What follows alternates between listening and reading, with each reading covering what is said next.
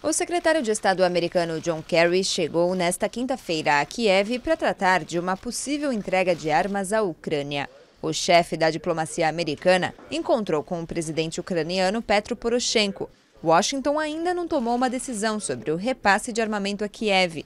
O governo ucraniano já indicou que precisa de dispositivos sofisticados.